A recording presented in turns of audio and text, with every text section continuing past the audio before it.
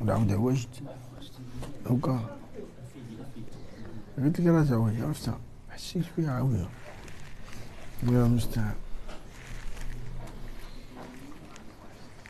هاك معوجتي عاوتاني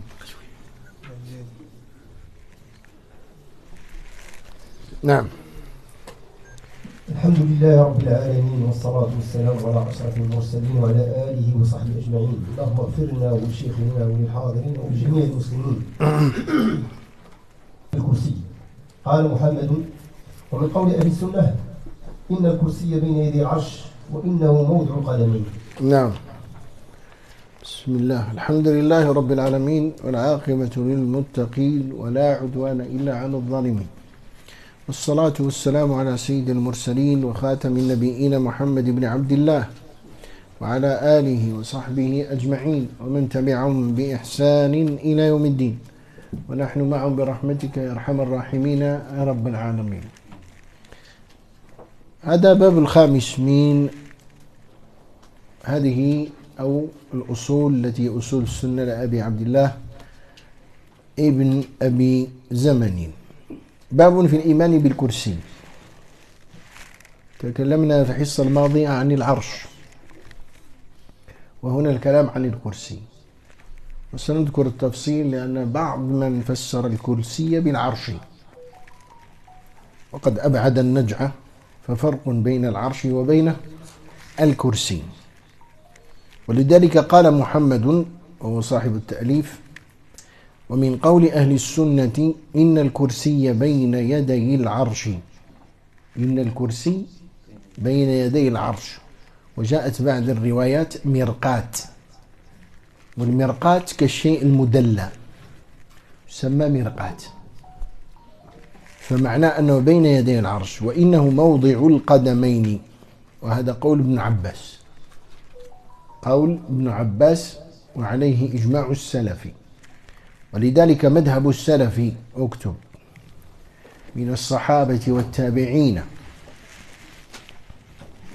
ومن سار على نهجهم واقتدى بسنتهم واقتدى بسنتهم أن الكرسي جسم عظيم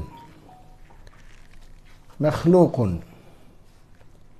بين يدي العرش. والعرش أعظم منه وهو موضع القدمين للباري.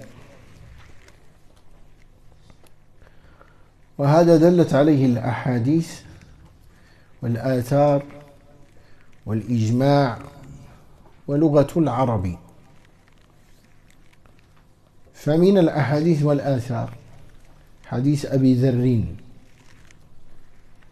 وإن كان الحديث التي سيستدل به المؤلف متنه صحيح لكن ضعيف جدا كما سنبينه.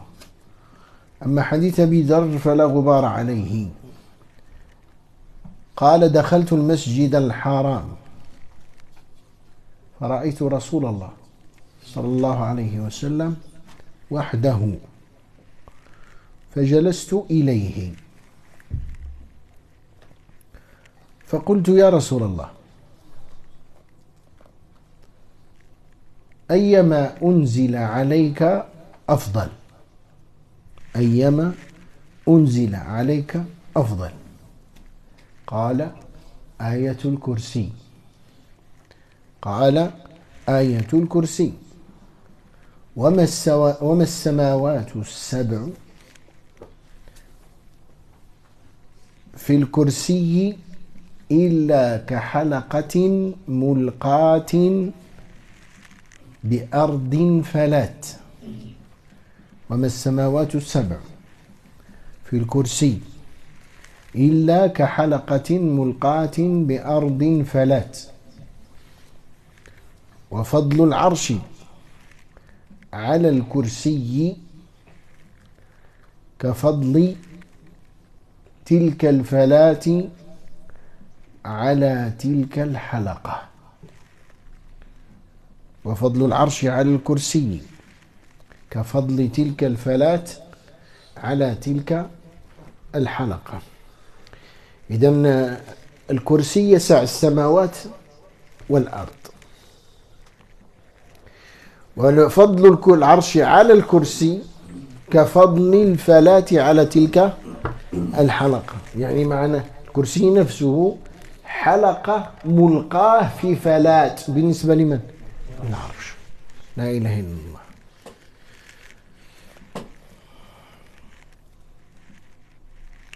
بالنسبة للأثر هذا القول قال به كثير من الصحابة والتابعين منهم ابن مسعود وأبو موسى الأشعري ومن التابعين مجاهد وغيرهم. ولذا ذكر كثير من أهل العلم أن هذا القول قد حصل عليه إجماع السلف. من قول؟ أن الكرسي بين يدي العرش وهو موضع القدمين. وحتى في اللغة فاللغة أو في اللغة لا يعرفون معنى الكرسي إلا أنه الشيء الذي يعتمد ويجلس عليه. نعود. في اللغة لا يعرفون معنى الكرسي إلا أنه الشيء الذي يعتمد ويجلس عليه. هذا هو الكرسي. علاش قلنا فما تجيش تقولنا الكرسي هو العلم. وتستدلنا بحديث وتنسب القول لابن عباس كما يفعل المؤولة آه. ونسبة القول إلى ابن عباس لا يصح. فهمنا؟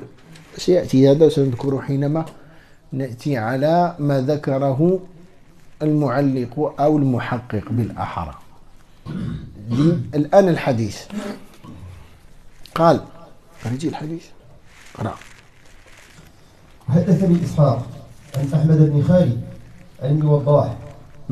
عن أبي بكر عبد الله بن محمد بن أبي شيبة قال حدثنا عبد الرحمن بن محمد المحاربي عن ليث عن عثمان عن أنس قال قال رسول الله صلى الله عليه وسلم أتاني جبريل بالجمعة وهي كالمرآة البيضاء وذكر الحديث. وفيه إن الرب تبارك وتعالى اتخذ في الجنة واديا من مسك أبيض. فإذا كان يوم الجمعة هبط من عليين على كرسيه ثم حف الكرسي بمناجر من ذهب مكللة بجوهر ثم يجيء النبيون فيجلسون عليها. نعم. أورد المصنف طبعا هذا الحديث. وقال حدثني إسحاق عن أحمد بن خالد عن ابن وضاح عن أبي بكر عبد الله بن محمد بن أبي شيبة. أغلب ما أسنده المؤلف أو المصنف بالنسبة إليه فيه نظر. لذلك قلنا القاعدة أننا قد يكون الحديث في الصحيح لكن بسند المؤلف فيه آش السند الذي فيه ضعف ليس الحديث. فهمنا القصد؟ ما نسمعش أنه في البخاري تقول كيف يضعف؟ لا ما ضعفناش الذي في البخاري. الحديث لا يضعفون ما في البخاري إنما يضعفون آش. سند الذي هو آش للمؤلف. فمن القصد الآن. هنا لا. هذا ليس في الصحيح باش تعرفوا فقال حدثنا عبد الرحمن بن محمد المحاربي وهو مدلس هذا. عن ليث عن عثمان وعثمان هذا ابن عمير. وهذا ابن عمير ضعيف بل البخاري يقول فيه منكر الحديث. قال عن أنس قال رسول الله صلى الله عليه وسلم لذلك الحديث ضعيف جدا. ضعيف جدا. وحينما نقول ضعيف جدا لا ينجبر بالنسبة للسند لا للمتن. ولذلك قالوا ومتنه صحيح. لأن لهذا المتن سندا آخر آه لا غبار عليه أو بمجموع طرقه يرتقي إلى درجة الحسن قد يكون الحسن لغيره أو الحسن لذاته. باش تعرف لذاته لغيره كذا حتى يجيك اش آه مصطلح الحديث. وهذا كلام خو وعلم آخر الله المستعان. آه. طيب. قال هنا أتاني جبريل بالجمعة. قال وهي كالمرآة البيضاء. في بعض الروايات كهيئة المرآة البيضاء. هذا أقرب. كهيئة يعني جبريل كهيئة المرآة البيضاء. وإحنا لا إشكال فيها كما قلنا أن الملائكة عقيدة أهل السنة أنهم يتشكلون. أعطاهم الله عز وجل القدرة يتشكلون بها لا إشكال جبريل أتى النبي صلى الله عليه وسلم في عدة مرات على صورة بشر منها دحية الكلبي. ولا لا ورآه النبي صلى الله عليه وسلم على حقيقته مرتين.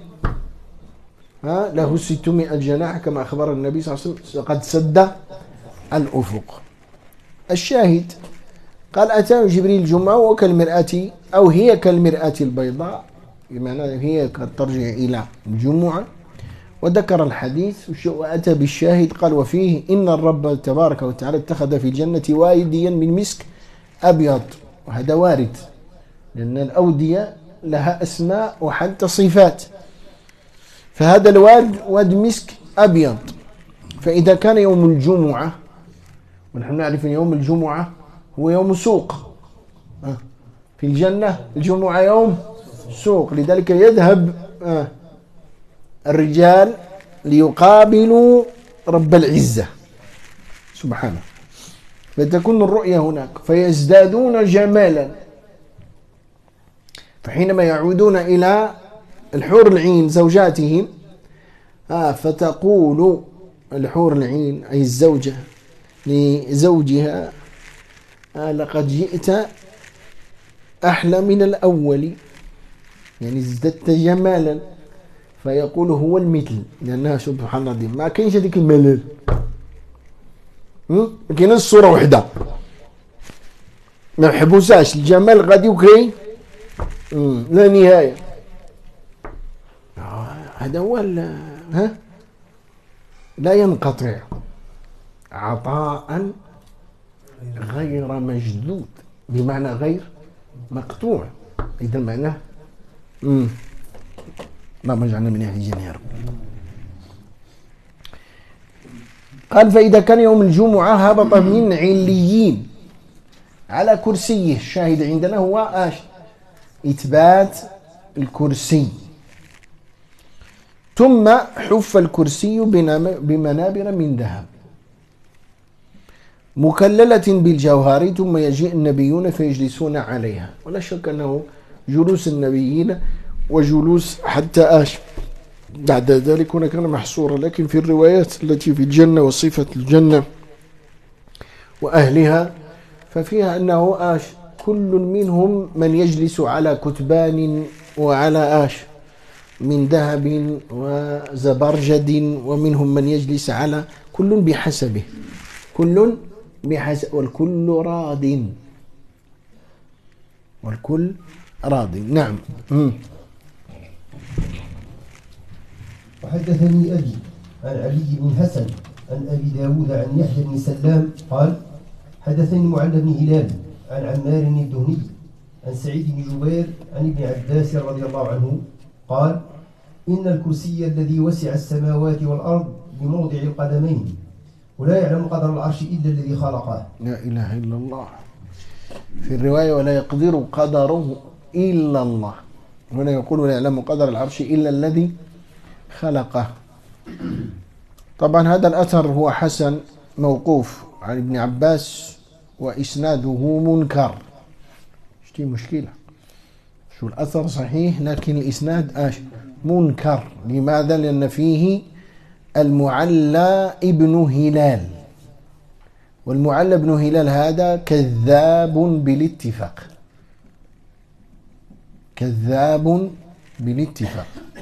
قال عن عمار الدهني عن سعيد بن جبير عن ابن عباس ثم ذكر أن الكرسي الذي وسع السماء لأن الله سبحانه وتعالى قال وسع كرسيه السماوات والأرض معناه أن السماوات السبع والأراضين السبع وكل ما خلق الله عز وجل يسعها آش الكرسي. يسعها كرسي والكرسي موضع القدم. لا إله إلا الله. والله فوق العرش بائن من خلقه. أي عظمة هذه؟ ما كتشوف أنت السماوات كتخلع كاينة ما حديتيها حتى من جهة. شوف السماوات. ماشي سماء واحدة. بين السماء كما مر معنا 500 عام. ناهيك عن سمك السماء نفسها. فأي علو هذا؟ ثم أراضين. مثلهن. كما أخبر الله عز وجل كل هذه المخلوقات العظيمة يسعها آش كرسي. إذا خلق عظيم. والكرسي حلقة في أرض فلت. سبحانك ما أعظمك. لا لا ما قدرنا الله حق قدره ما مستعان. قال بموضع القدمين ولا يعلم قدر العرش إلا الذي خلقه. لأن قلنا إذا كان الكرسي يسع هذه السماوات أو الخلق كله يسع الكرسي؟ فكيف العرش؟ وهو مخلوق من المخلوقات. لا يعرف قدره إلا من إلا خالقه. وحدثني أحمد بن طرف عن العناقي عن نصر بن مرزوق عن أسد عن يوسف بن زياد عن عبد المنعم بن إدريس عن أبيه عن وهب بن منبه عن أبي عثمان النهدي عن سلمان الفارسي قال تحت هذه السماء بحر ماء يطفح فيه الدواب مثل ما في بحركم هذا. ومن ذلك البحر غرق الله قوم نوح وهو ماء أسكنه الله في موضعه للعذاب ينزل قبل يوم القيامة فيغرق به من يشاء. فالسماوات والأرض والدنيا والآخرة والجنة والنار في جوف الكرسي. كله منكر. المتن منكر لأنه ذكر أشياء تخالف ما في الكتاب والسنة. الله عز وجل يذكر على مسألة آه، إغراق قوم نوح إنما كان من السماء والأرض. هو يقول هناك بحر والماء موجود نعم لا شك يعني سيأتينا قبل العرش وكان عرشه على على الماء. لكن بحر كبحركم وحيتان يحتاج إلى دليل لأنه أمور غيبية. والأمور الغيبية لا يستند عليها بماذا؟ آه. إنما تحتاج إلى دليل صريح واضح. لأن يعني مسألة غيبية. آه. فالله المستعان. لذلك الأثر هذا موضوع. لذلك قال أهل العلم أنهم لا يجد لم يجدوا له مسندا. يعني يذكر في الوصف. حتى يقال يعني ليس هناك من صنف وذكر هذا الحديث. آه وبسبب عبد المنعم بن إدريس وهذا كذاب وضاع.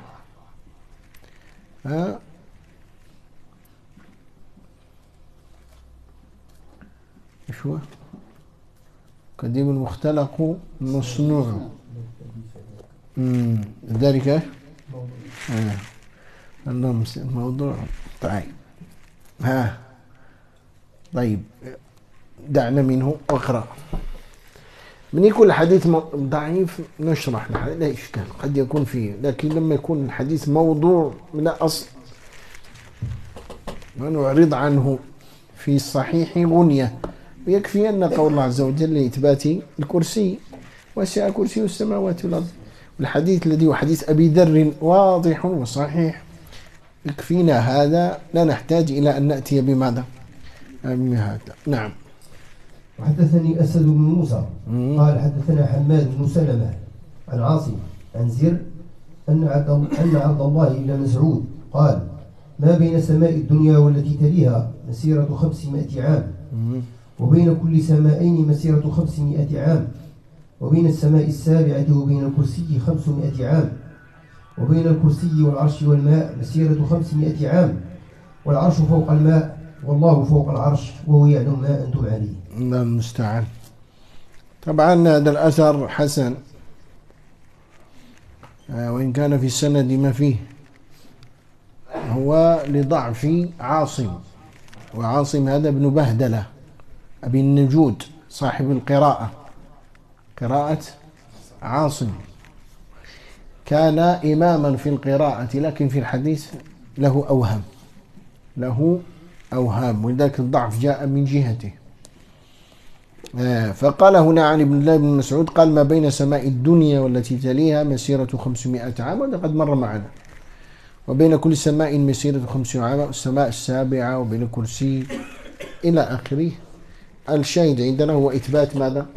الكرسي. وقلنا بحسنه لأن الذهبي رحمه الله تعالى في كتابه العلو قال إسناده صحيح. وصححه الشيخ الألباني في مختصر العلو. وحسن إسناده كذلك أحد تلامذة الشيخ الذي هو حسن مشهور. وكفى بذلك آه تحسينا أو تصحيحا. نعم. أي نعم لا شك. قوله باب الإيمان بالكرسي. وقوله باب الإيمان بالكرسي يعني وأنه موضع القدمين. مسألة. اعلموا رحمنا الله وإياكم أن بعض أهل العلم ذهب إلى تفسير الكرسي بالعلم. انتبه إذا عرفنا أن الكرسي هو موضع ماذا؟ والكرسي معلوم. ما يعتمد ويجلس عليه. نعم. تفسيره بالعلم. هنا سننظر. ونسبوا هذا القول إلى عبد الله بن عباس رضي الله عنهما. وقلنا أن نسبته إلى ابن عباس لا يصح لا يثبت بل هذا القول هو قول الجهمية. قول أن الكرسي هو العلم قول الجهمية. وأول الكرسي بالعلم وأول العرش بالملك. فنفوا الكرسي ونفوا ماذا؟ العرش وهذا هو القول الأول. زيد قال شيخ الإسلام ابن تيمية رحمه الله تعالى وطائفة اشتبه عليها ففسروا الكرسي بالعلم. هو يرد الآن. يرد على من قال أن الكرسي هو العلم. مع أن هذا لا يعرف في اللغة بتة. والله سبحانه وتعالى أحاط بكل شيء علما فلا يختص علمه بالسماوات والأرض. قال رحمه الله تعالى والمقصود بيان عظمة الرب سبحانه وتعالى وهو بكل شيء عليم. ويعلم ما كان وما يكون فليس في تخصيص علمه بالسماوات والأرض مدح. نعم لأن تخصص ولا يعزب عنه شيء فليس للسماوات والأرض خاصية حتى يذكرون آش من دون بقية الخلق. مم. ولا لهذا نظير في القرآن. مم. فالرب عز وجل لا يذكر اختصاص علمه بذلك قط. قال رحمه الله تعالى وهذا وإن كان من رواية جعفر بن أبي المغيرة عن سعيد بن جبير عن ابن عباس رضي الله عنهما ثابت عن ابن عباس رضي الله عنهما من رواية الثوري عن مسلم البطين عن سعيد بن جبير خلاف هذا. قال الكرسي موضع القدمين. إذا معناه لا نترك الصحيح للضعيف. عندنا الصحيح الذي هو آش. رحمك الله. الصحيح المنسوب إلى ابن عباس أن الكرسي موضع القدمين. فلا نحيد عن هذا إلى قول لا يصح البتة. وهو أن نقول أن ابن عباس يقول أن الكرسي هو ماذا؟ العلم. وخصوصا أن الرواية أو السند هالك. قال رحمه الله تعالى. هذا القول الثاني.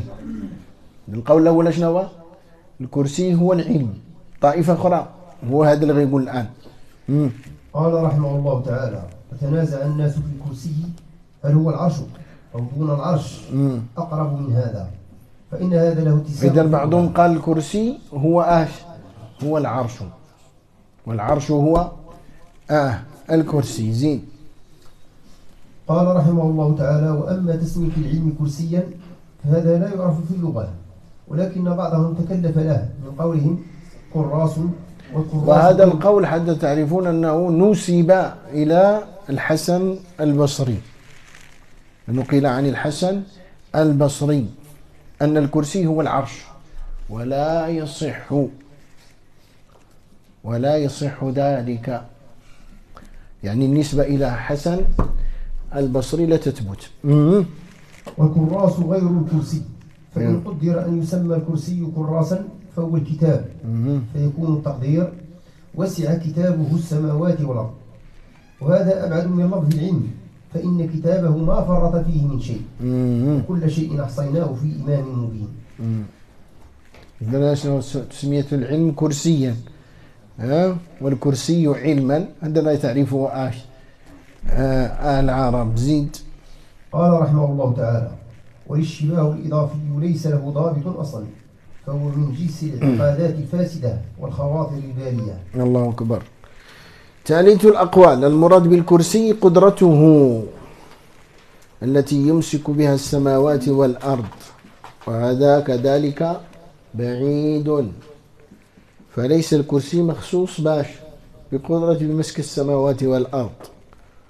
والمراد بالكرسي وهو القول الرابع هو الفلك الثامن أو التاسع. الله المستعان. وهذا ما يسمونه بفلك البروج. وهذا قول الفلاسفة.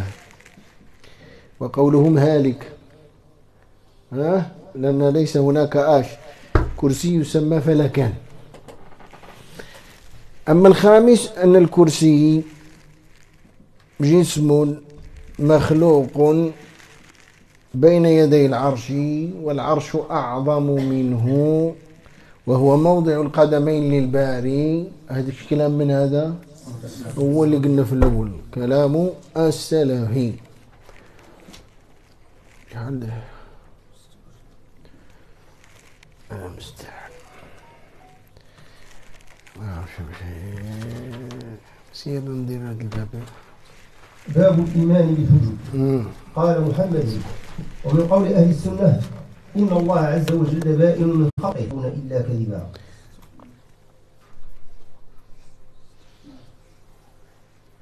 ما ما ندريش الباب؟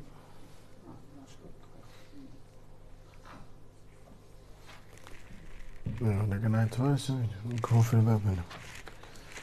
أنا ما كملش ما تعطيناش عشرة دقائق لأن الكلام طويل. باب الإيمان بالحجاب. طيب نكتفي هنا إن شاء الله تعالى. آمين.